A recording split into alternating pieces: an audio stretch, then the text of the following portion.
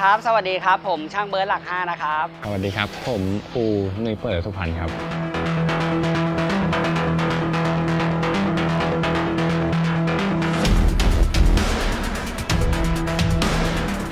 ก็จากที่เห็นตอนนี้นะครับความพร้อมล่าสุดก็ตอนนี้เรากำลังประกอบเครื่องยนต์ตัวใหม่นะครับสเต็ปการทำก็เปลี่ยนไปจากตัวเดิมนะครับ คาดหวังแรงม้าที่เพิ่มขึ้น แล้วก็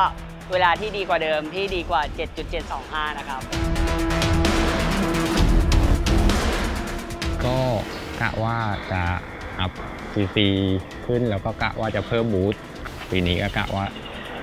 จะบูทเยอะกว่าเดิม พยายามก็จะยืนเวลาเดิมไว้ก็จะพัฒนาให้มันเร็วกว่าเวลาเดิม ก็ขึ้นอยู่กับจังหวะ แล้วก็ส่งรถอีกทีนะครับ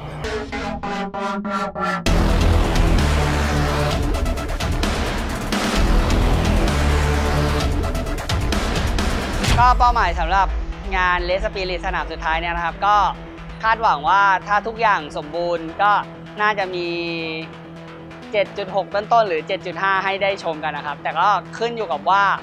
ณวันที่แข่งจริงๆอะแท็กสมบูรณ์ไหมแล้วก็คนขับรถทุกอย่างสมบูรณ์เปล่าถ้าเกิดสมบูรณ์พร้อมผมว่าก็น่าจะวิ่งได้อะครับก็ผมเป้าหมายก็จะยืนเวลาให้คงที่เวลาเดิมที่มันวิ่งไว้ 7.6 แต่ที่ผมคิดไว้ก็อยากจะให้มันเร็วกว่า 7.6 ครับ จะพยายามให้ได้ครับ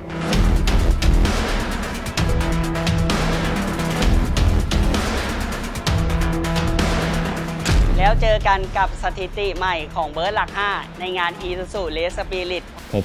ผมได้ในงานอิสุเลสปิริตสนามสุดท้ายในสนามที่ 5 ครับ ฝากติดตามและไปเชียร์ผมด้วยแล้วกันครับ แล้วเจอกันค